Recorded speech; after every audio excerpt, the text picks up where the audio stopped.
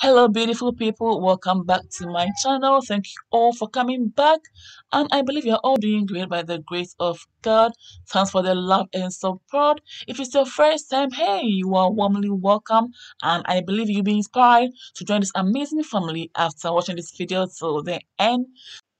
Family, today on our menu, we have simple, quick, easy, nutritious, super tasty, and tasty recipe without further ado let's get into the video. I hope you like it because i really enjoyed myself. Let's get into the video. And yes family i'm using yam but you can as well use plantain cocoyam cassava and whatnot okay? So or even potato yes? So i'm going to cut some of the yam and uh, we use that portion for my ampesi i'm going to peel off the skin and I'll cut them into any shape and size of my choice. And guys, we will continue from there. So keep watching and go nowhere. The recipe is amazing and I hope you'll be inspired to try this. That's why I said go nowhere because you don't want to miss a step. Okay? Now that I'm done cutting my yam, I'm going to wash them nicely and I'll add them to my saucepan which is already on the cooker top filled with water.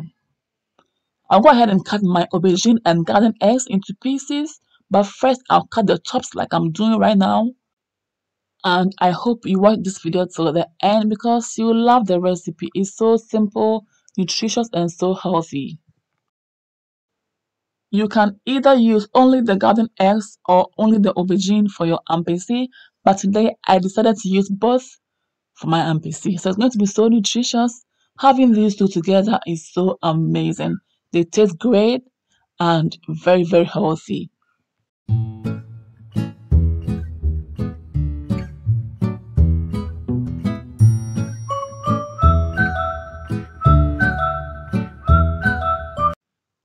Beautiful. Now they are so clean. However, I'm going to wash them again and the running water and I'll add them to the yam on the cooker top just like this. Mmm. Wow and I'll let it cook until it's ready. I'm adding my eggs because I mostly enjoy my ampesi with eggs. And I'll go ahead and add some salt to taste.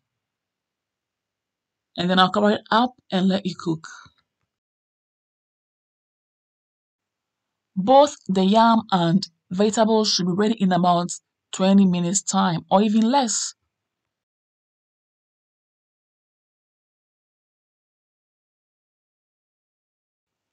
Now let's check and see how it's doing so far. Hmm, so far so good. The yam is ready, is so so ready. So guys, I will drain out the water and we will grind our vegetables, okay? Using the earthenware or you can as well use a blender. But using the earthenware makes it more Ghanaian and makes it like you feel it differently. The taste is different and yeah, that's what I like to use but it's always okay to also use the blender. I'm going to add my white onions. Again, I'll add my scallions. I'll go ahead and add my star anise seed. And then I'll add my anise seed. And I'll begin grinding them.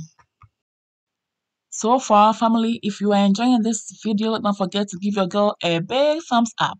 Don't forget to share this video for others to see. Don't forget to comment. Don't forget to also recommend this channel to friends and families who may like my recipes. And if it's your first time, hey, I would love to have you here. So please subscribe, join this amazing family, and you will never ever regret. Also, don't forget to click on the bell button to receive updates from me. Okay, I've added my roasted, oven roasted momone or fermented fish. Mmm, this is going to be so amazing. Wow. I will keep grinding until it's almost smooth and then I'll check the salt content. If it's not okay, I'll then add salt to taste just like this. And I'll again grind it until the salt is evenly distributed. Now let's cover it up and finally prepare our palm oil for the ampesi. When the palm oil heats up, I'll go ahead and add my salted tilapia just like this. And I'll let it fry on both sides until it's crispy. And I'll go ahead and add my onions. Okay, so keep watching. So far, so good. It smells amazing. Hmm, this salted tilapia is everything. It's really infused into the palm oil and is doing wonders here in my kitchen. I, I love it. And I'm adding my onions. Again, I'll give it a stir. And I'll wait till the onion is golden brown or brown. Once I've achieved that, I'm going to add my chopped tomatoes and I'll let it fry for about two minutes. It smells so good.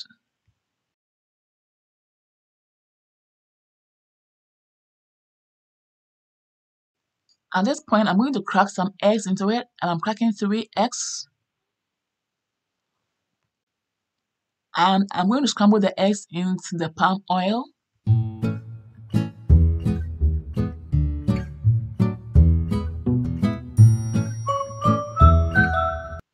This is so simple, quick and easy lunch, supper or dinner recipe and family I am already celebrating. I cannot wait to start enjoying this amazing ampesi. I've added my cooked and peeled prawns and ooh, this is so top notch. Amazing.